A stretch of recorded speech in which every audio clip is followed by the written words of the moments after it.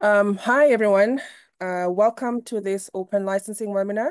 My name is Elizabeth Oyange. I am one of the facilitators for uh, the September courses on CC. Um, and I'd also like to welcome um, our other facilitators. I can see Paul is here.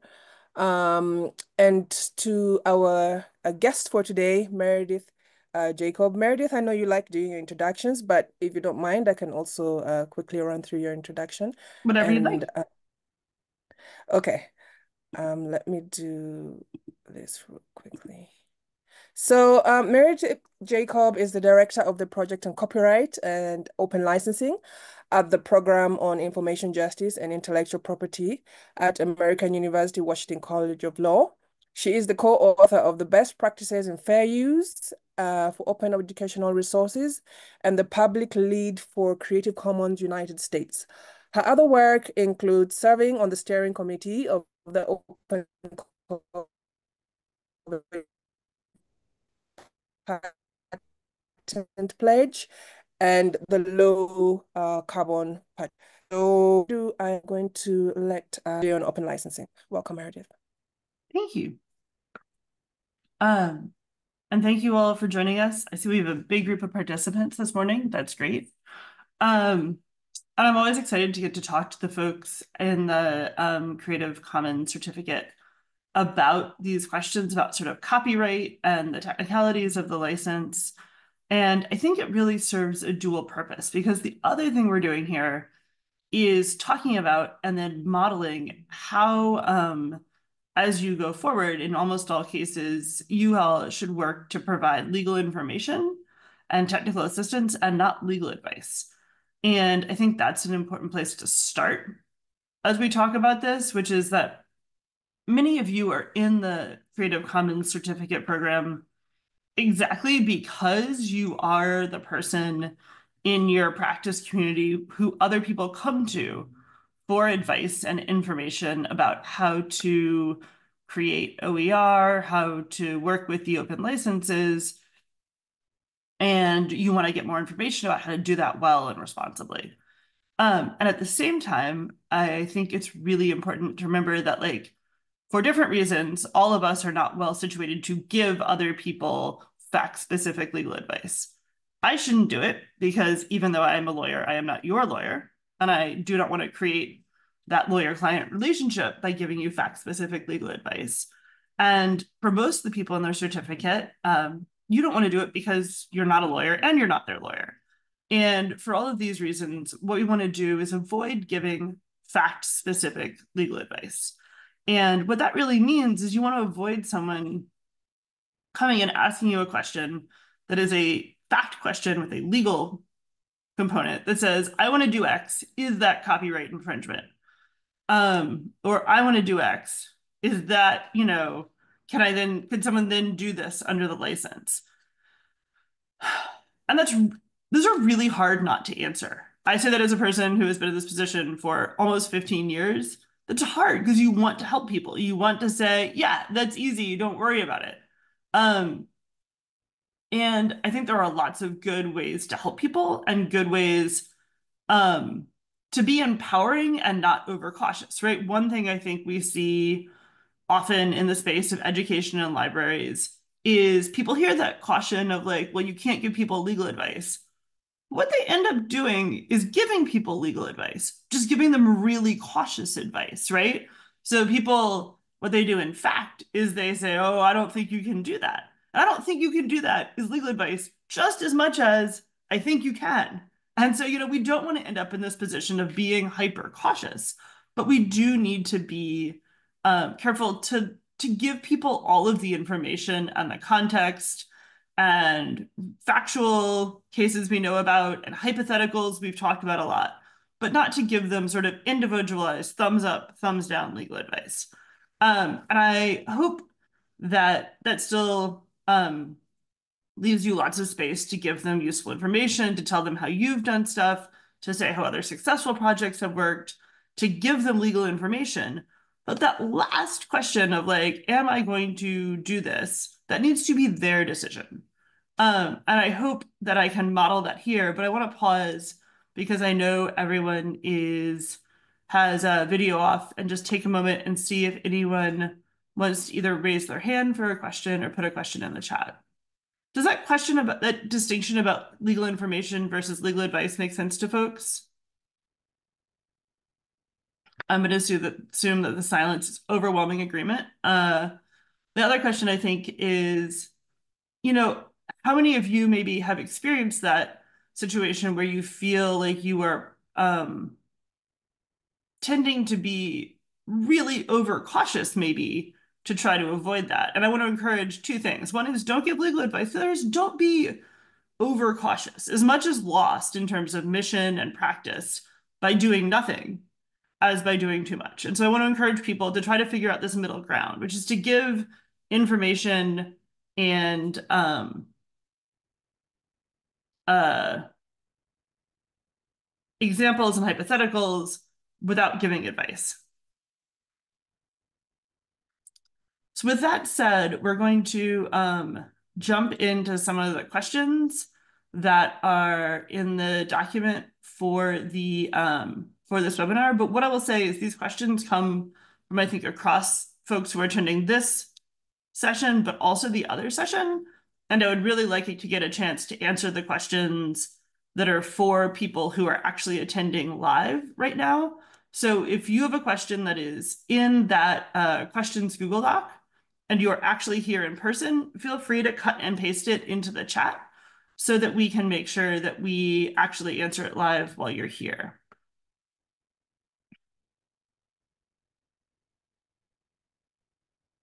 Um, and so try to sort of figure out uh, how to sort of group these questions. Um, there's a couple of sort of easy ones, I think, which is like, there's one in here, which is like, why are certain creative works such as fonts and computer programs treated different from literary music and artistic works in US copyright law? Does the difference have to do with an inability to define these creative works explicitly? Um, I would say perhaps the opposite, that that difference is just because they have different economic, they have been decided sort of in the legislation and in the courts at different economic moments. And so I think that like if you actually you know, I don't think there are really necessarily sort of coherent uh, big picture reasons that they are treated differently. I think often it's just courts and legislatures make decisions not from some sort of perfect principled place, but because in fact there's an outcome or a specific dispute sort of resolution that they want. Um, and so I think there are certainly parts of things that are protected by uh, copyright that don't actually make sense in the sort of big picture incentives of copyright. Um, and you also can see this in sort of technicalities of how courts deal with um, cases. So there's a case in copyright Kirtsaeng, which is about the reimportation of textbooks.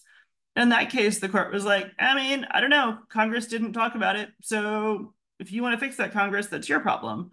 Um, and then in the later case, Aereo, you could have had a similar sort of plain language reading that would have allowed Aereo, but the courts, I think, felt like that was too big of a disruption economically and found the other way. And so I think there isn't a sort of coherent through line to the statutory protections of copyright that the choices, they sort of just make the choices they're going to make. Um, on the question about the NC label depends on uses, not users. A CC wiki on NC says uh, a for-profit university may still include a link to an NC licensed courseware in a syllabus or um, sorry, the question moved in a syllabus or on its paywalled website. And later, not all education educational uses are allowed. Um, so you you know the use of your NC license may preclude your the use of your work in some educational contexts. So for the first half of that question, you can include a link to something regardless of the licenses. So um, at least in most cases, there's some edge cases where this isn't settled, but in most normal sort of mainline copyright cases, linking to something does not implicate copyright. So you can link to an NC material from any commercial context. And because you're not making a copy of that thing, uh, it doesn't implicate the license. So um, in that situation, in the first one, uh, I, I think you don't even get to the license. But if I were to rewrite that, um, I would say uh, that there are still situations where for-profit companies, not even for-profit educational institutions, but for-profit companies might use an NC material, might make copies of an NC material in some sort of incidental internal way. Like if you had written a really good NC explainer on some technical thing and they were just getting new hires like up to speed and they're like here's this great NC thing they made 20 copies they passed it out to people um I think there's a reasonable argument that that's not a commercial use like it's a commercial company but that they're not like charging for that training. It's not like a commercial a primarily commercial activity of itself. Um and I do think that broadly speaking the NC interpretation focuses on that specific use like what is happening there? Are they charging for it? Are they is it a core part of some commercial offering and so i think in that situation using an nc material even just at a regular for-profit company um is within the bounds of what might be non-commercial i will say that like cc has sort of two separate bodies of writing on this. They have the license which is what a court will interpret. And then they have all of this other stuff like the wiki, which a court could, in theory, choose to look at, but has no binding effect, right? CC cannot control the meaning of the NC licenses outside of the four edges of the paper, right? So the NC license means what is written in the legal deed of the license plus what a court finds. And so the court could find the other stuff that CC writes relevant, but they're not required to, right? CC can't come in and say, it doesn't say this on the paper, but this is what we meant. They could write a brief that says that. Um, but they can't, they don't have like a legal controlling right to later alter what that says. And that's good and bad, right? Because there's certainly situations in which members of the larger Creative Commons community might want one outcome, but because these are legal documents between licensor and the licensee, CC is not a direct party to that. It's also why we don't have like a registry where you have to apply for a CC licenses. These are tools put out into the public for people to use. Um, and I think that comes into play in the second part. Not all educational uses are necessarily non-commercial, so your use of an NC license may preclude the use of your work in some educational contexts. And this is one where there are some real differences of interpretation. So in the US, there is a series of court cases where uh, educational publisher Great Minds had gotten a grant. Um, it was a grant from New York State, but it was federal flow through money. And they'd created um, OER and they'd put a CC by NC license on that OER and they sued FedEx and Office Depot when school districts had those materials printed there. And they said, you're printing these materials for commercial purpose, licenses non-commercial. Schools can use them, schools can print them internally, but they cannot have them printed there. Ultimately, the court found that in those situations, the uh, two printing companies were operating within the license of the school. Uh, I don't think it was a guarantee that it would be found that way. I think there were copyright professors, you know, on both sides of that issue. Um, with the other argument being that each individual user is a is a licensee, and so um, I'm happy they found that way. I think it's the right decision, but we weren't. It wasn't a guarantee. I would also say that um, there's differences within, you know, users of the Creative Commons licenses are not one sort of single unilateral community. Um, I think for example, in the United States, we're very, very comfortable with the use of CC licenses in tuition bearing higher education, right? Just because you're paying for higher education and these OER textbooks are a big part of that. that it does not, in fact, make those commercial transactions. Um, I don't know that it's true everywhere. There's at least a period of time. Um, I haven't talked to people about it recently, but there was at least a period of time where, for example, folks in Creative Commons circles in Germany and folks in Wikimedia Deutschland were very much uh, in opposition to that and said, well, no, if you're using OER in tuition bearing education, that's a commercial use. So we have this printing case, we have that case. I think there's also been cases where not, not litigation, sorry, the printing cases were litigated. The other two were just discussions. Um, but uh, in the those cases and cases about whether schools can print for cost recovery, I think those are going to be there. And so, um, again, folks will have to choose which license they personally will use. But um, when I am giving people advice about thinking about licensing, I always say, I would rather focus on helping the people you want to help and collaborating with the people you care about collaborating with and sort of building that community. Focus on enabling the good actors more than trying to hamstring the bad actors. That I think that spending time and energy trying to choose more restrictive licenses and to sort of focus on um, the uses that you don't want is ultimately less rewarding that you cannot um you cannot really completely control the actions of bad actors and that the more um the more productive thing to do is to focus on doing the best you can to enable the good actors that are actually in your community. And so I think for that reason, I encourage folks to pick the least restrictive license that they think they can work with. Um, I also think you can always add in requests separate from your license. Sometimes people, uh, I think, pick more restrictive licenses because they want to be asked about stuff. Um, and I always remind people that you can always ask for something that is not legally binding. You can always say, hey, I'm putting this out there. If you update it or if you're using a different way, please let me know. Not everybody will, but some people will. And I think just reminding folks that it's not just the stuff in the licenses that you have to rely on. Um, I'm just going to go through and see my questions. Um, the next question is, is it okay to bind together uh, various articles that are freely found on the internet in a packet to give to students? If a professor orders an article through ILL, can he provide that article to all the students in his class? Um, and is a copyright violation to change a format from DVD to MP3 for students to use in a reserve? Um,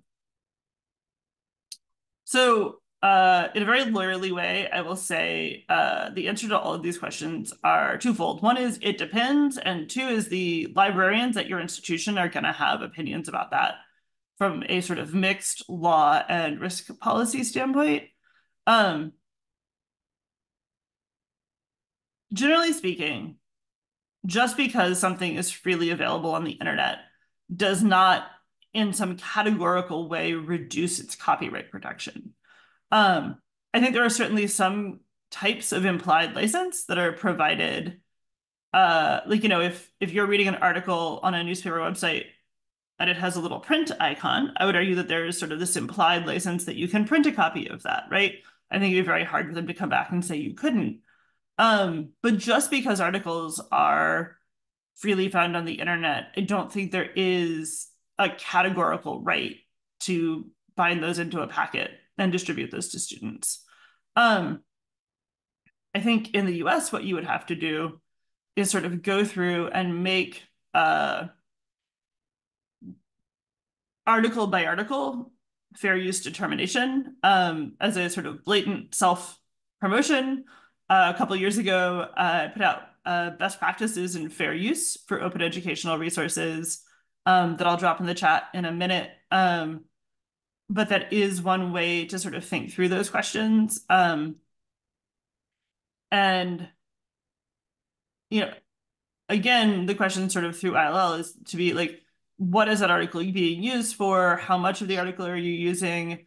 Um, in all of these contexts, using having the pedagogical context be clear. So speaking to US fair use law and then US and Canadian fair dealing, um, that the context is is really important for that. And so, for example, if you're creating a new OER and you're using excerpts from a lot of different sources that are sort of highly contextualized and sort of reframed in that OER, you have a much stronger fair use uh, argument there than you are if you're just having sort of a bunch of articles loosely together without that sort of int- like direct purpose. Um, and then for the format shifting, uh, you have the copyright questions there, but then you separately have DMCA questions, which have to do with um, uh, using things like DVDs that have uh, copy protection on them. So just going down into the chat. Um, Can I um, jump in here quick, Meredith? sure. Um, one of the questions I just wanted to get uh, speak to as a librarian. Um, so there's the question about um, if a professor orders an article through ILL, um, and this is really similar to a question I get a lot about um, using articles from library purchased databases. Um, and there's so there's sort of copyright considerations. Um, but one of the things librarians need to often keep in mind is um, the licensing agreements that the library has signed in order to get access to these electronic resource databases. Um, so when I was in my academic library, um, we there were lots and lots of online journal articles, for example, that were not openly licensed, but that our faculty and staff and students had access to because the library paid tens of thousands of dollars a year for subscription access. Um, but part of our life, part of that licensing agreement, that contract we signed when we made that purchase was that um, professors were not allowed to download a PDF of that article and then put that PDF somewhere like in Canvas or in their LMS course shell. If they wanted to share that article with their students, they needed to link to the article in the database and then the student would use their login to go and access it through the library resources. So sometimes there are sort of these extra considerations. Um, there's kind of what copyright law says, but if you've signed a contract or entered into an agreement outside of that, then you also need to think of those things and keep those considerations in mind. Um, and if I said anything incorrect, Meredith can can step no, in, but that that's a thing like librarians have to think about all the time. And I always used to get weird questions from faculty that like, but why? And I'm like, because publishers are weird, but we signed a thing. yeah. Can I can yeah. I jump in too and just add to what Shanna said? This is Liza. I'm at Salt Lake Community College. Um, our University of Utah uh, online journal search has a really cool thing where it'll show you what databases the journals are in. And one of the things it does that's kind of neat is it actually has a drop down that you can show the licenses. So you can see if they can ILL it and who they can ILL it to, and also like what those people can use. Um, so I don't know if other big libraries do that. Um, University of Utah's are our, our, our R1. So it's like the biggest library in the state um, as far as academic libraries go.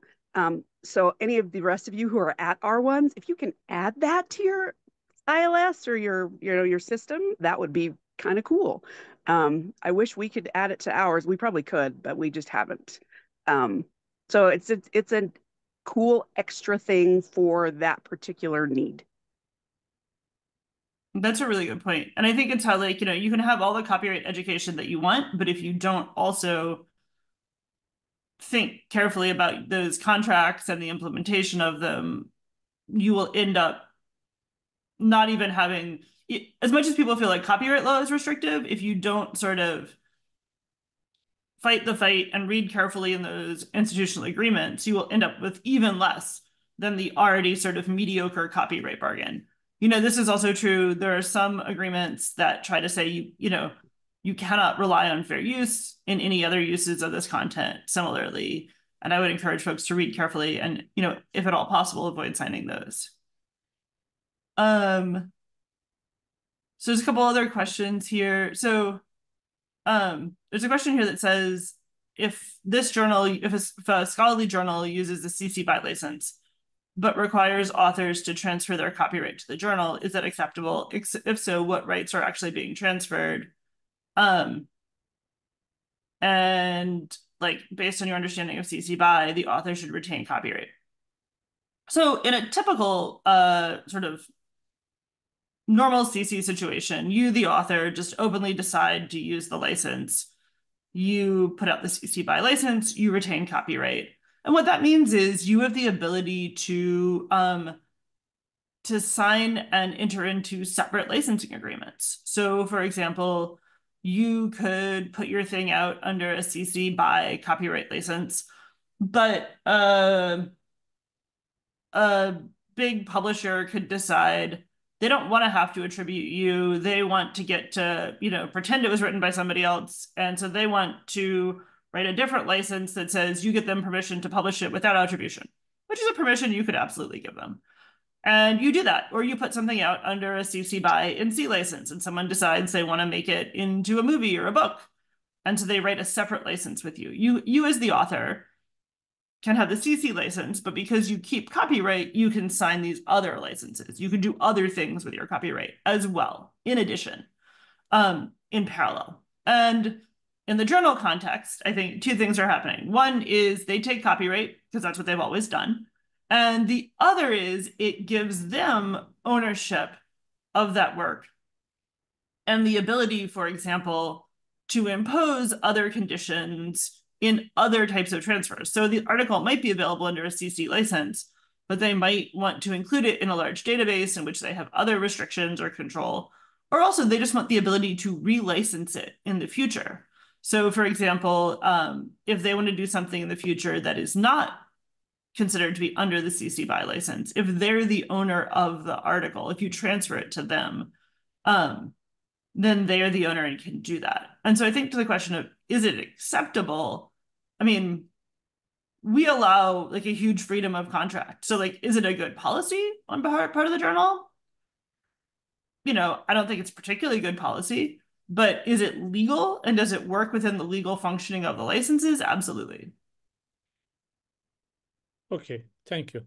So if there is no other license, the only license is CC BY, and we are not talking about the future rights maybe, so the, the journal is Diamond Open Access, and it is CC BY license. I am the author. Which right do I give to them?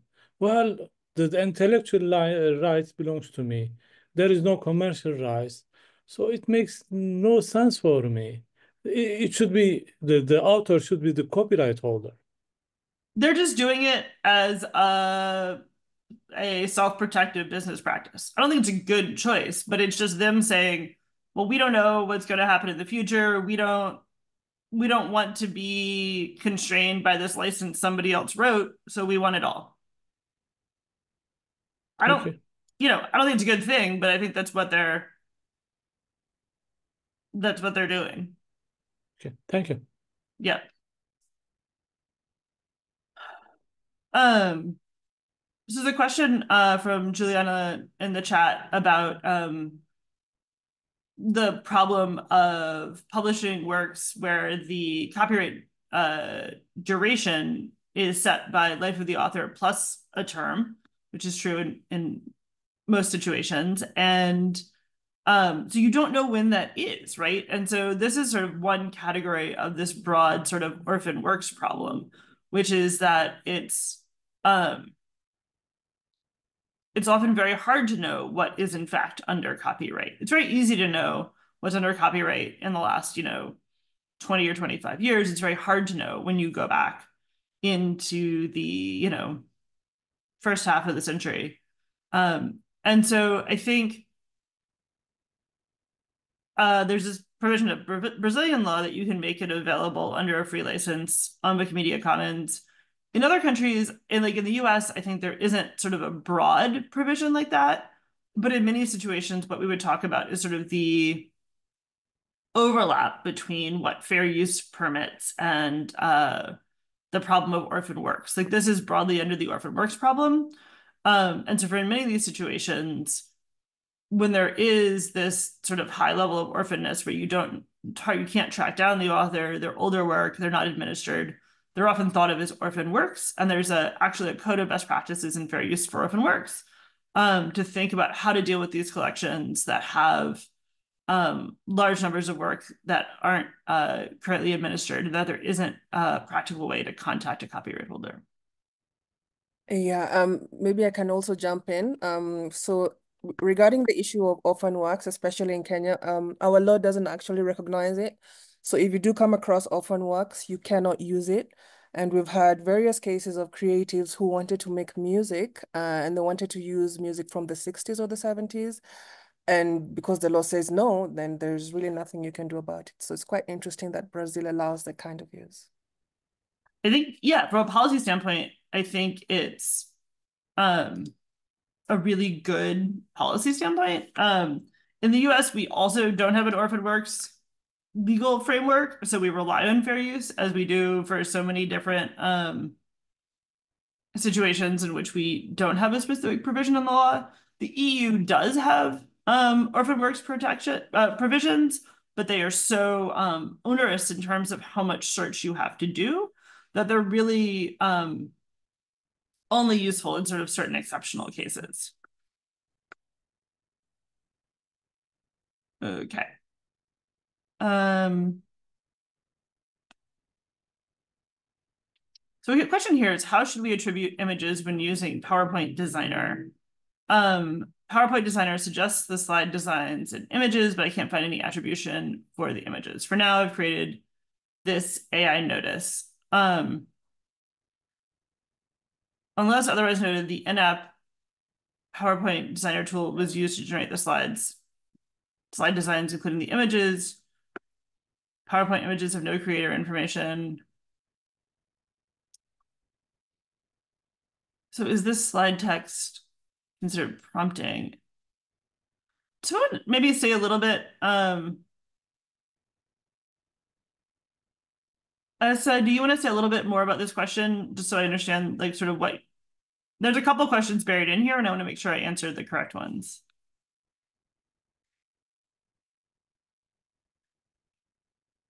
Hi, I don't know. Can you hear me okay? My yep. phone isn't working well. Okay. Loud and clear. Okay, thank you. When I am using um, PowerPoint with the in-app designer, yeah, the uh, images will pop up depending on the content of my slide.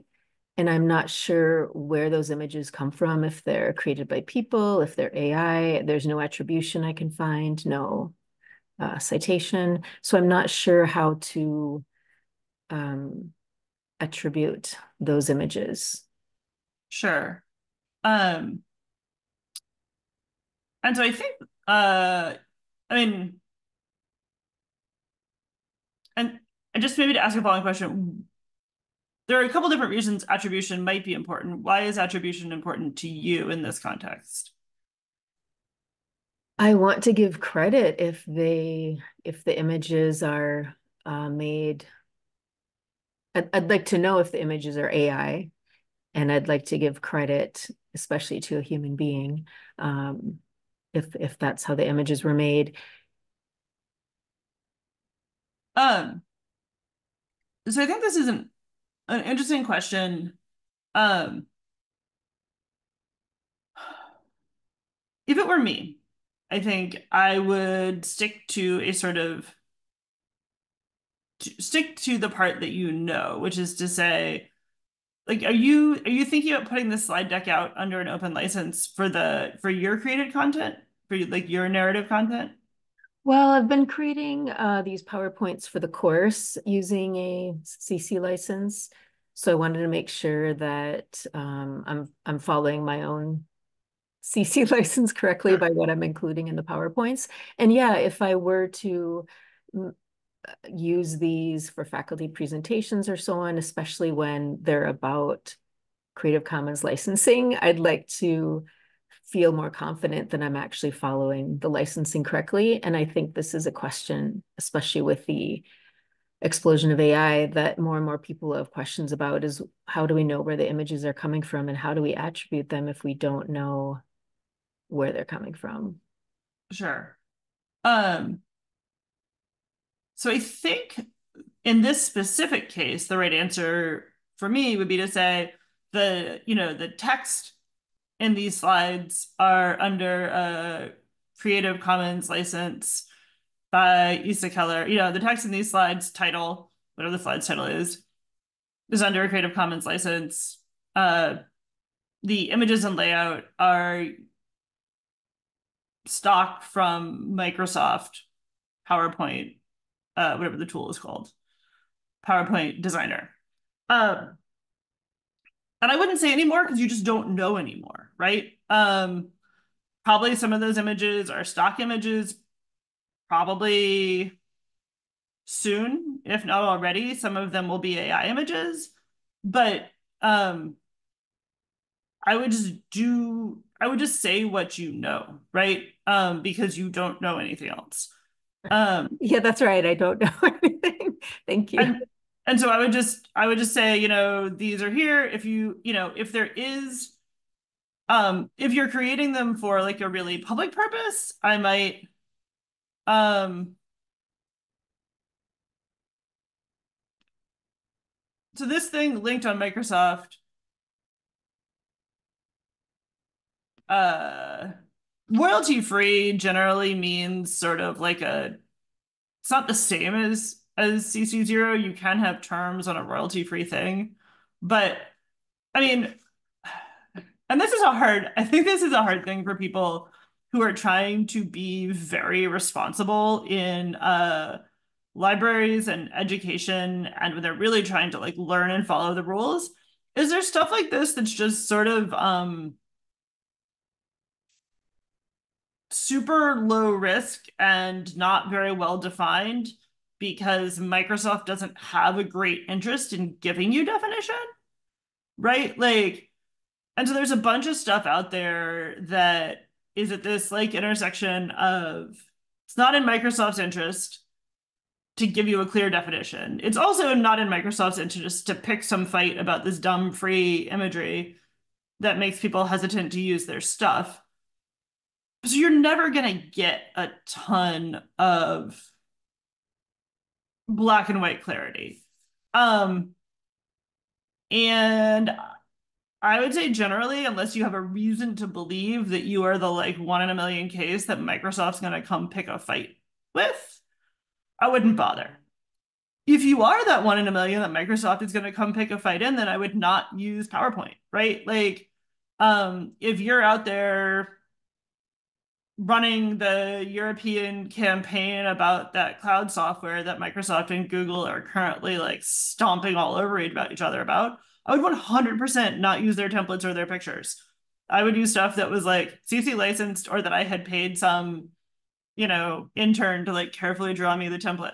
Uh, for everybody else, like this is just in that sort of uncertain valley of low value tolerated use for which there is going to be no clear answer. And you should just be clear to your later users. This is a template from Microsoft. This is here.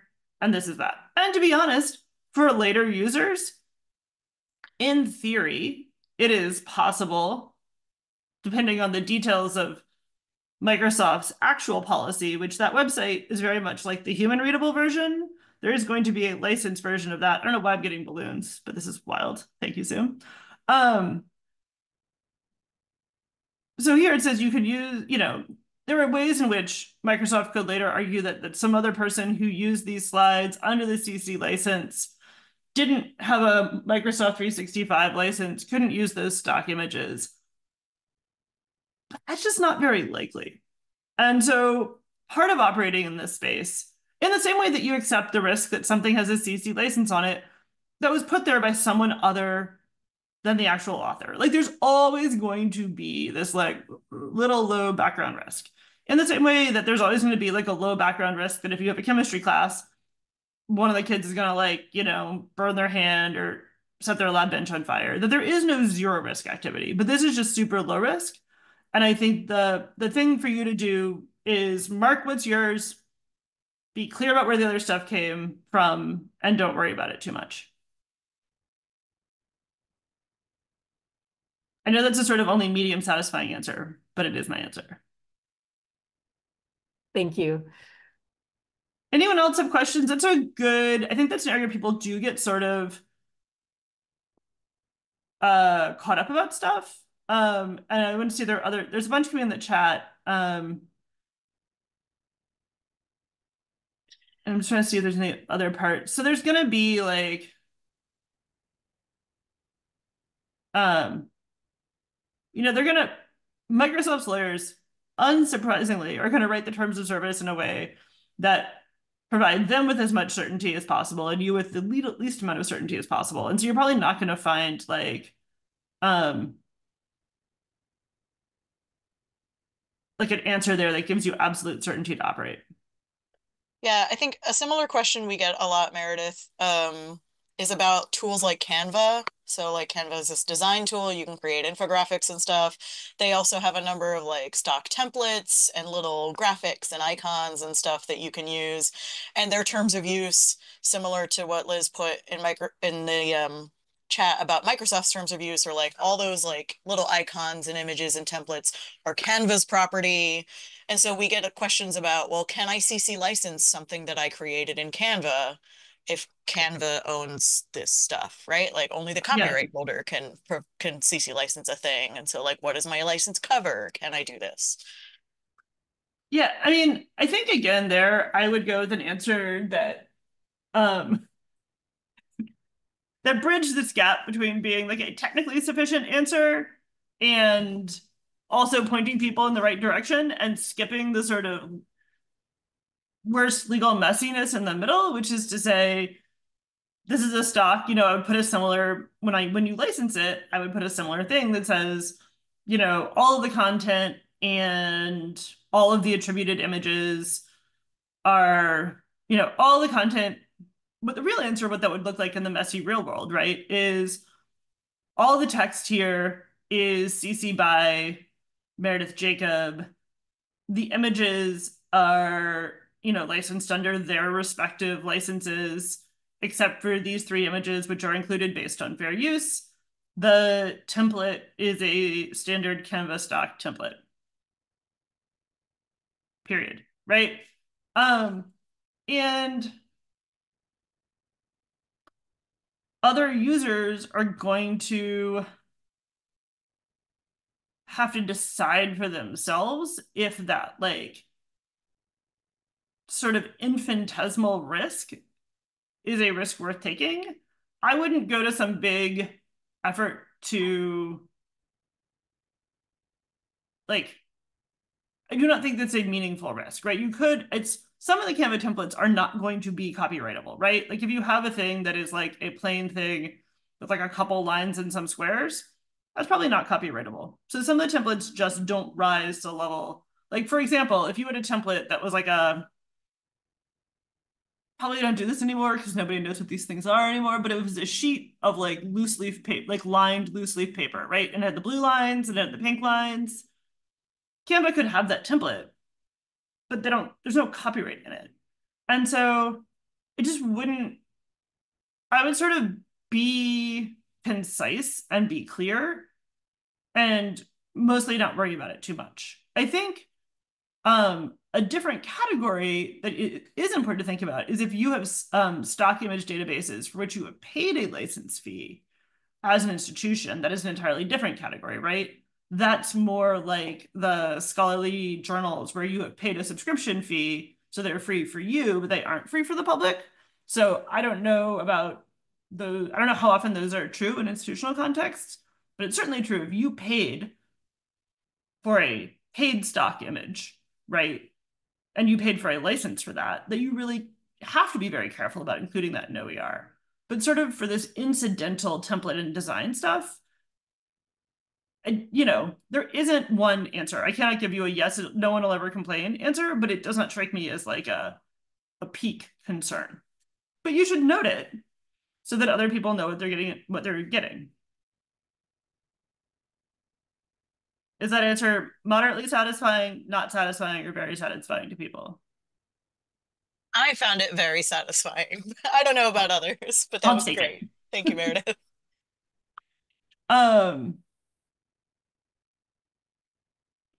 you know, we've also gotten lots of questions about like how to attribute stuff that was created with AI. And again, I would just urge people to like a common sense approach that that communicates concisely and effectively. So for example, Um, I think there is very little meaning to putting anything in for people who've used AI and process tools, right? Like if you've used Grammarly, if you've used AI tools for, you know, sort of normal, regular image processing, um, if you've used AI tools for sort of writing organization, I don't think there's a big upside to including those. I think that sort of ends up being noise rather than signal. Um, I think that uh, on the other hand, it's probably important from both a copyright standpoint and like a factual reliability standpoint of a sort of communication and information standpoint to indicate if you have images or text that have large chunks that are wholly AI generated. And um, and without sort of human revision or correct or, or you know alteration. And that's partly because of copyright because those things aren't copyrightable but it's also because you know it's sort of a, a a reference to others that they might want to just contextualize them differently.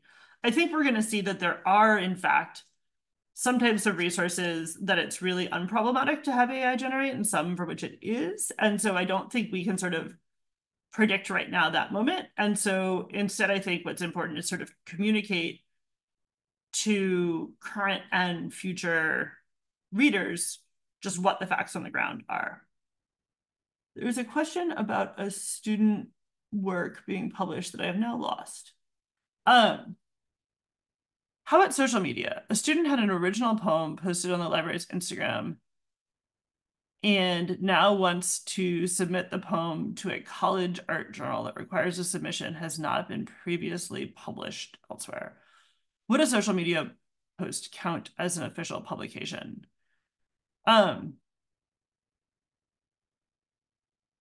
so I think from a copyright law standpoint, it would probably be published, right? You are sharing it out to the public. Um, I don't uh, from a literary journal standpoint, a world about which I know nothing about and I'm giving you my absolute hot takes, uh, I would say that if if you were asking me this question as an informal colleague, I would say I don't think that uh, an institutional spotlight is the same as a outside publication. Uh, but that is a question for people who think about uh, literary journals and publications. So I would encourage anybody on this call who has experience with that to maybe unmute and mention it. But to me, I would say that um, in the same way that in like scholarly work, posting something, you know, posting a preprint on your institutional page on, and Shannon's gonna laugh at me because I don't remember the names anymore, but like Bepress or whatever, the new digital commons or whatever, that that, that isn't that wouldn't count as publication if a journal says, you know, you can't have published elsewhere. Shanna, you, do you have a thought on this? Yeah, I mean, again, it's a thing a lot of um, librarians who advise like faculty and student authors question we kind of run into a lot. Um, and my advice is usually just ask the publication what they mean. Well, ask the journal if this counts as prior publication or not. In general, most journals would not consider this a prior publication. Essentially, they just want to make sure that you haven't already published it in another journal. You know, like they want credit as like the journal that published the work.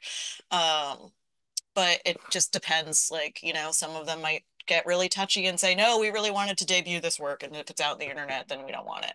But most places will say, yeah, you put it on Instagram. We don't care. That's fine. We just didn't want it to be like under a publishing agreement with another publisher somewhere. And that certainly would be my, that would be my hot take entirely outside my area of expertise, but that is absolutely what I would tell them. Okay.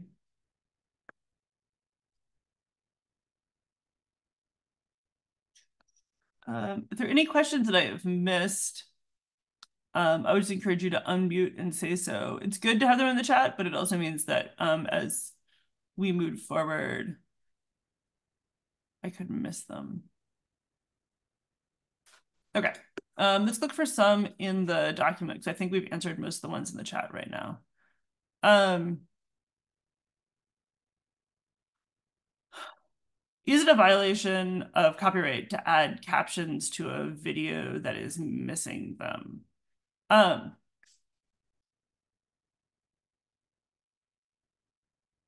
so I think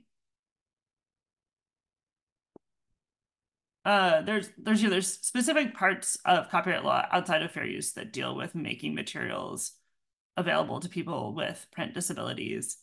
Um, and I think this activity might well be covered there, but I also think that you have very strong um, fair use argument, and then also just a very strong sort of normative argument that um, this is in fact something that is required by your obligations, particularly in educational context, required by your obligations to your students with disabilities. So um, I think this is a very low risk activity. And at least in the US, I would have no hesitation doing it. Um, and I think there's a there's an there's an implied question here, which is if to make a copy of uh, a video that has captions, do you if you needed to download it from YouTube and make a local copy to add those captions, I think um, that is something that could also be covered by your by your legal rights there to make that copy to make those captions. And it's one of the reasons I think we often talk about the deficiencies of linking out. So here we talked about how linking out doesn't implicate copyright, and that's true, but um, it also often doesn't serve your mission. And so when we talk to folks in the open education space, we often encourage them to think about whether or not it's actually more important to do the fair use analysis and be like, okay, what part of this video do I actually need? I'm going to download it and embed it so I can do things like make sure that it has captions, make sure it has other accessibility features, make sure that students without broadband still have access to this resource. So it's a reason that even though linking out is low copyright risk, it can actually be higher mission risk. Um,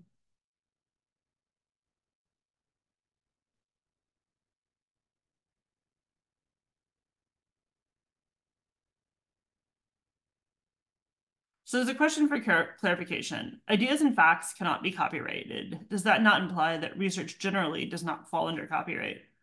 Um, for example, only particular expressions such as formulations in a research paper would. And yeah, that's true, I think. Uh, sort of not exactly how I'd state it, but when you publish a research paper, what you own is that paper. You have no legal control over the ideas in that paper. And that's exactly how copyright is supposed to function, right? You get protection in your specific publication, but not in the ideas in it. Um, even when those ideas are really new and really valuable.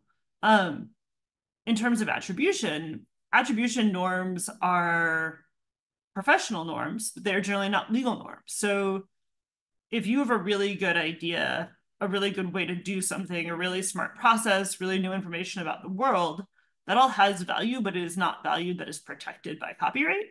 And in different professional contexts, people might need to attribute that. But in a sort of general obligation of the public, there is no attribution requirement for that. Anyone, uh, there are a lot of questions sort of bound up in that distinction between idea and expression in factual work and in um, the sort of imperfect overlap between what copyright protects and what uh, professional norms around plagiarism and attributions and credit might protect. Does anyone have any questions there? That's an area I think that often can be pretty tightly bound up.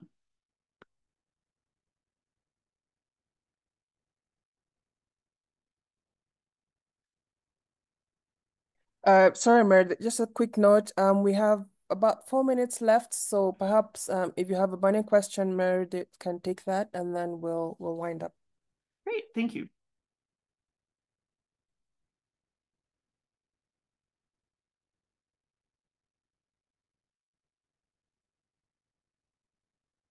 Um, well, since we don't have any burning questions, I get well, guess we'll let folks go. I want to say thank you for coming. Um, and thanks for taking part in the certificate. And uh, hope to see you all out doing your great work in the future. Great. Thank you so much, Meredith, for that really informative session. We really appreciate it. Uh, and thank you to everybody who attended today. And of course, if you do have any questions relating to this, um, remember the video will be uploaded for you to be able to review, and then you can reach out to us, um, facilitators, uh, for any um, further concerns regarding this topic. So thanks uh, again, everyone, and we'll, we'll see you at the next session on the 5th of November.